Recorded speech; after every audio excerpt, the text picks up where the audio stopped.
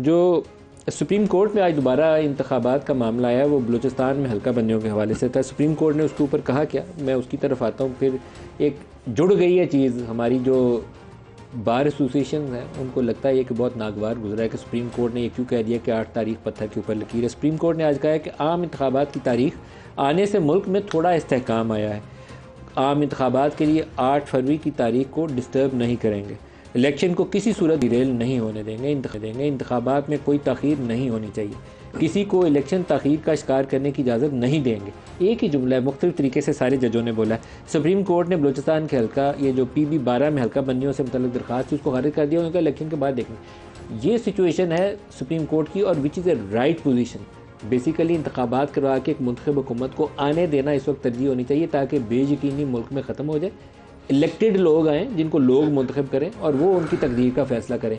अगर तो गैर जमहूरी तरीके से आगे चलाना हो तो फिर उसका कुछ और तरीका ढूंढा जा सकता है। अगर आइन की रोशनी में चलाना है तो सुप्रीम कोर्ट दुरुस्त बात कह रही है। नहीं पंजोथा सर, आपको क्या लगता है ये आप भाई क्या चाहते हैं सारे? आज इकट्ठे कैसे हो गए पेटी भाई आपके?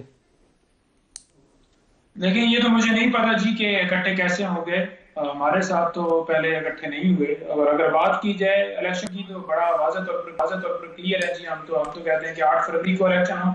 हाँ एक मुतालबा ज़रूर है जो इन्होंने एक ज़िक्र किया है फ्री एंड फेयर इलेक्शन का। तो वो जो है, होना चाहिए इस वक्त तक जो है, नज़र नहीं आ रहा, क्योंकि हमारा तो बल्ले का निशान भी इलेक्शन कमीशन अपने पास लेकर बैठा हुआ है, जो कि पहले ही, डेढ़ दो महीने पहले कह दिया गया था कि आपका निशान भी होगा। चेयरमैन पीटीआई यानी कि इमरान खान साहब, आपके चेयरमैन भी होंगे। वो पहला काम तो उन्होंने हमारा खत्म कर दिया चेयरमैन साहब जब तक। लेकिन बल्ले वाला मामला जो है, वो उन्होंने लटकाया हुआ है, ताकि लोगों के अंदर मायूसी पैदा हो, वो समझे कि बल्ला जो है, वो बैलेट पेपर के ऊपर नहीं होगा, जिसकी वजह से फिर जो है, लोग जो है, वो आहिस्ता आहिस्ता वो समझेंगे कि जनाब ये तो खत्म हो गए और बाहर भी नहीं आएँगे।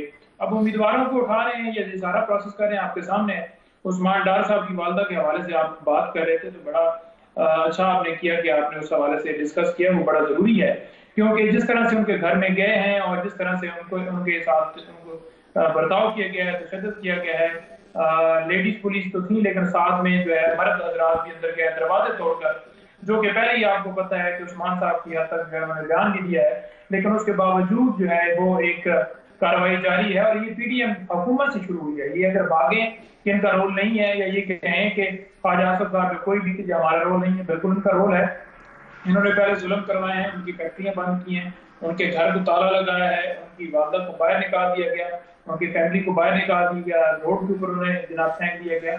और ये हमारी रियासत जो है हमारे लोगों के साथ ये कर रही है। तो रियासत जब इस हद तक आ जाए ये आपका एक सियासी इल्ज़ाम है। पुलिस ख्वाजा आसिफ के नीचे नहीं है। जिस जिसके नीचे पुलिस है उसको जवाब देना चाहिए और आई होप के मोहसिन नकवी साहब जिम्मेदार आदमी है इस मामले के ऊपर एक्शन लें और तोज़न लाने की बहुत ज़रूरी है। तोज़न तोज़न लाने की ज़रूरत है ये दुरुस्त नहीं है। ये मोहसिन नकवी साहब जर्नलिस्ट हैं आई थिंक कि उनको इस पर री थिंक करना चाहिए कि ये मामला ऐसे अगर आगे चलाएँगे तो इसमें पाकिस्तान के लिए नुकसान है। डूबने का रास्ता है इसमें तैरने के लिए गुंजाइश बहुत थोड़ी है इस मामले के अंदर।